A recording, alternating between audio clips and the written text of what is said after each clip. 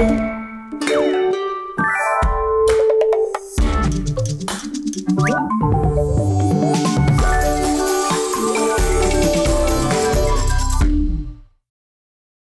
I'm Liam, a designer and design advocate on the material design team at Google and host of Design Notes.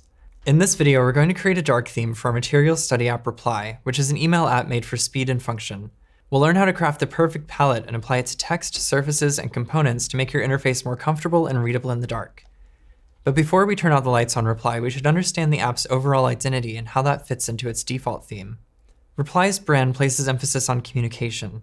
The app prioritizes functional qualities, favoring ease of use over decorative design elements. For the purpose of creating a dark theme, the most important element of expression is color. Reply's color scheme uses a dark blue-gray primary color paired with an orange-yellow secondary color. Because the secondary color is rarely used, Reply's UI is often monochromatic. This subtle color scheme allows content to be easily read without distraction. The secondary color has an outsized impact wherever it's used, emphasizing critical actions and clearly pronouncing branded moments in the app. Knowing how color relates to Reply's expression of brand in its default theme, we can make informed adjustments to its palette for a usable and expressive dark theme. In Material, color systems are based on tonal palettes. These palettes use your brand colors to create a set of harmonious variants that come together in a comprehensive color system applied across your app, ensuring style and legibility. Here you can see Reply's custom tonal palettes. When crafting a dark theme with material, lighter variants are chosen so that your color system can remain expressive and maintain appropriate contrast without causing eye strain. More saturated colors tend to visually vibrate against darker backgrounds, making them harder to read. Lighter tones also provide more flexibility in varying the color of elevated surfaces, which we'll look at shortly. Now that we have a handle on Reply's tonal palettes and the colors we'll be using in our dark theme, it's time to start adjusting color values in our mockup. For this tutorial, I'll be working in Figma. In material dark themes, the bottommost layer of the interface is typically a dark gray with the hex value 121212. Material dark themes don't use pure black backgrounds to avoid perceived smearing or pixel bleed from light text on a very dark background. This slightly reduced contrast makes the interface easier on the eyes. In Reply's monochromatic inbox view, email cards have a slightly lighter color than the background, so we should lend that same treatment to the cards in the dark theme to maintain the inbox's visual hierarchy. We'll select all the email cards and set the fill value to the same dark gray value. Then we'll select the surface overlays for those cards and set them to white with a 2% opacity. Now the surfaces look great, but the text is unreadable, so let's work on text colors next.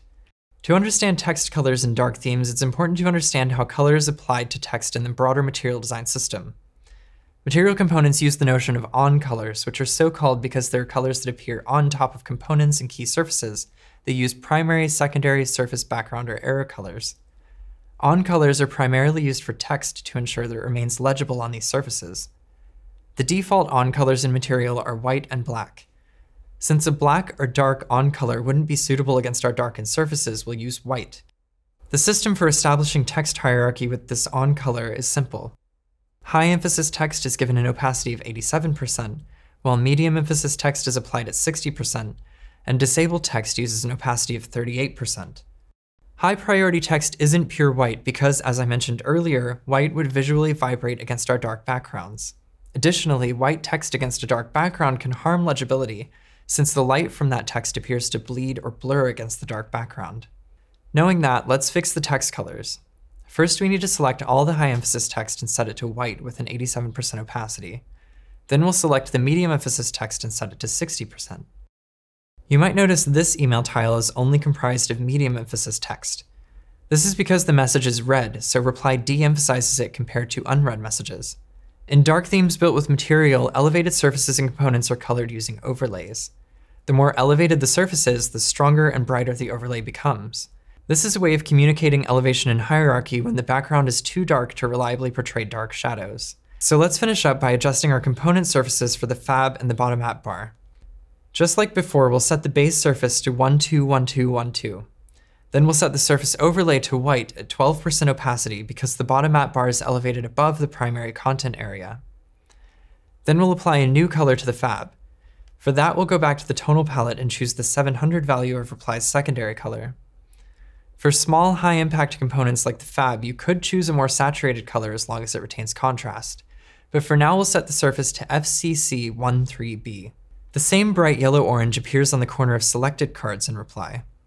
It's another strongly branded moment, but it doesn't fit cleanly into the UI because it's too strong for the shape it's given. In situations like this, you can take a look at the secondary variant color and work backward to find something that's appropriately expressive without being a distraction. For reply, we'll stick with the normal variant color, FFF5A0. Luckily, the icons in our components are already the right colors, so we don't need to change them. If you want to go even further with your dark theme, you can use custom surface treatments for additional expression or emphasis. As we learned earlier, the floating action button in Reply is a highly emphasized component that also represents a strongly branded moment in the app. So we might decide to maintain its color expression in Reply's dark theme by using Reply's original secondary color. So we'll go back to the fab and make its surface color F9AA33. We might also want to bring back the primary color as a custom surface overlay for the bottom app bar and email cards. So let's make the bottom app bar's overlay 344955 and set the opacity to 48%. For the email cards, we'll do the same thing but with an opacity of 4%. Now we have a beautiful custom dark theme. You can learn more about dark theme at material.io or try a hands-on tutorial at g.co slash codelabs. If you like this video, give it a like and subscribe to our channel for more design tutorials and other videos. Thanks for watching.